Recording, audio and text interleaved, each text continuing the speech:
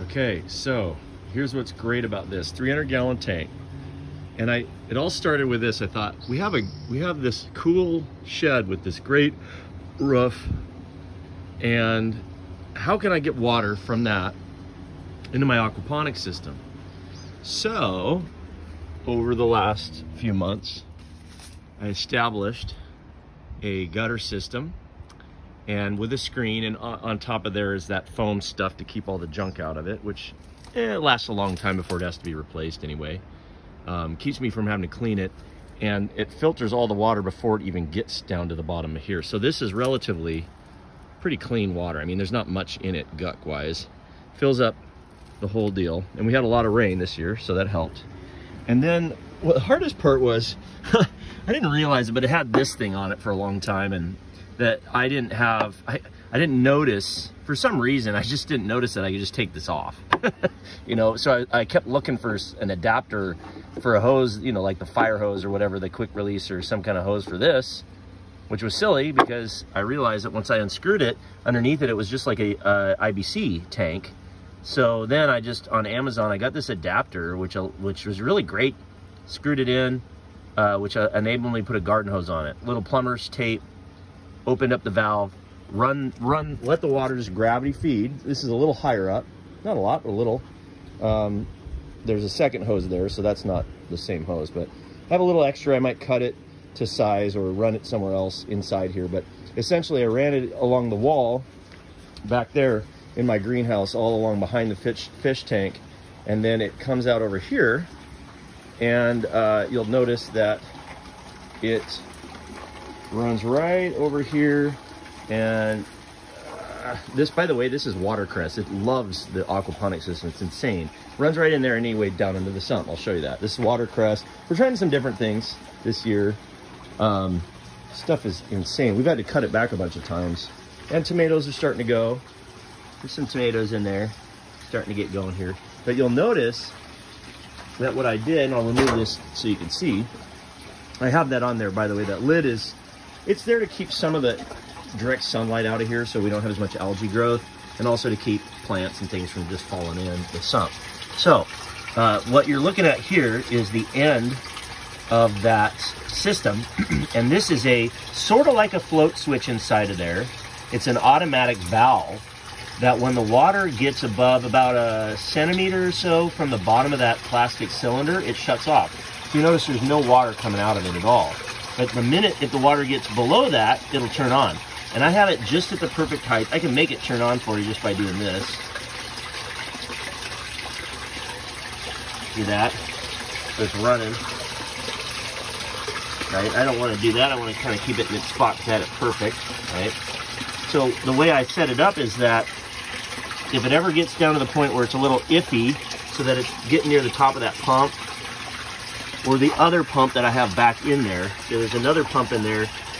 This one goes to the grow towers, and then that's my standard pump. So there's two pumps in here, and I don't want there to be any chance of the water getting too low. When it gets hot in the summer, this water start, this level starts dropping, right? And because there's, and people say, well, why do you have to add water? Well, think about it. Plants take water. They're drinking up the water. All these plants. Plus, there's evaporation when it gets hot and there's and then there could be leaks but I, I think I pretty much got rid of all the leaks if there's any leaks they're very very small it's not significant so mostly it's evaporation and the water uh, uptake of the plants so I need to keep these pumps from sucking air if it gets too low and so this is the absolute perfect solution I love it now imagine without this thing what I had to do I had to go out there uh, every day, sometimes in the summer in July, if it's hot in here, you know, 70, 80, 90 degrees, the, it, the plants start doing their photosynthesis thing like crazy, growing like crazy, sucking up water, lots of evaporation. And then I'd have to go out there and take buckets of water all the way in here and pour it into each one of these, you know, beds uh, so that it would it would trigger them and kick off the, the auto siphons. And that's the auto siphon is this thing, remember? So when the water gets to a certain height, about halfway in there, when it gets to all the way near the top of that, it sucks down there in a vortex, which uh, it's kind of like a toilet flushing, and then it comes in the bottom out there, right? Well, if there's not enough water that that the, the the pump begins to suck air, then here you'll hear it gurgling and there will be air in this line and the water flow will be less, which then makes it so that this never really kicks on. So for example, if this water got all the way to the top, which is it's not quite there, but it was just not enough water pressure to start the vortex spinning down in here and then sucking all the water in the bed all the way down like a toilet flushing, then it just kind of drizzles. And what happens is, the negative of that, is that this is drizzling, but it's not flushing, it's not draining. So then imagine all the roots of all of these plants are sitting in water all day long. And I, there's many times where I tried to leave for the day and I come back and go, oh, this thing, and, and it's making sound because it's going glug, glug, glug, glug, glug. And then that one's dripping and the back one is dripping, but none of them are flushing because there's not enough pressure anymore. There's not enough water volume to set one of them off. So this one's starting. You can see it should look like that. See, it's going. Now it's really rushing fast. And that, what's happening is this is draining quickly. And then it'll, right, it's a flood and drain system. So it goes up and then drains. It goes up and then drains. So as long as that keeps going, the system's great, right? There's a lot of circulation. All of the bubbles, all of that air, that creates a lot of um, oxygenation in the water, which is good for the plants and the fish over in the fish tank. So the beauty of this system is instead of once or twice a day, when it gets hot, I have to bring five to 10 gallons of water every day. I mean, it, it, sounds like a lot, but if you think about it, it's not. There's, there's evaporation, of course, and there's a lot going on in terms of plant growth. So some days, if it's not as hot, I won't need to add as much. Other days, I'd have to add more. So, and it, it, the fish tank doesn't have that issue. It's, it's one constant height.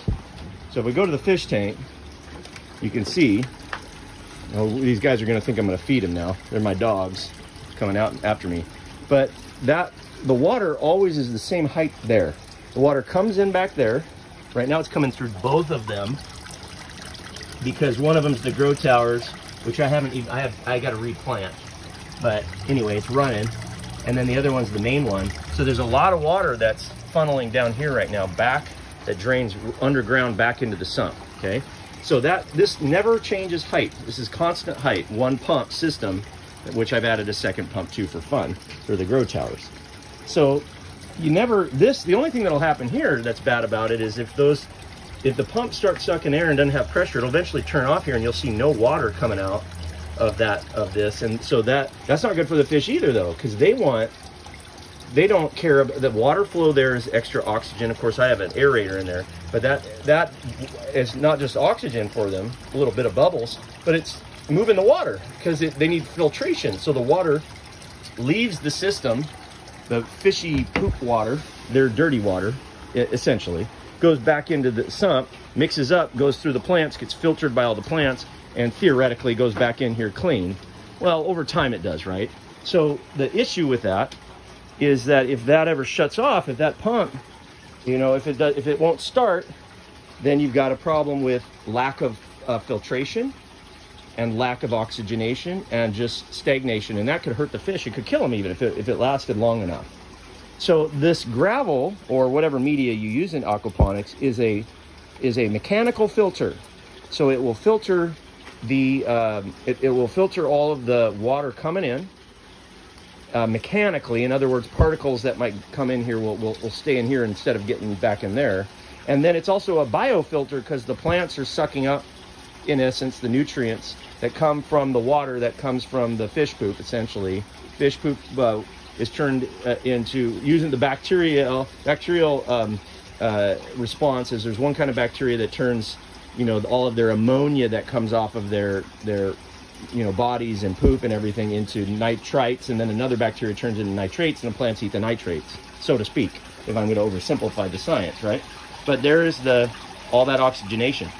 So you'll notice now, instead of having to come over here to do five or 10 gallons, this is always just like that it within a few inches. And if it ever drops too low, it trickles in some more. And now I don't have to touch it completely, totally automated. So happy, so happy about that. All right, that was my solution. Hope you love it.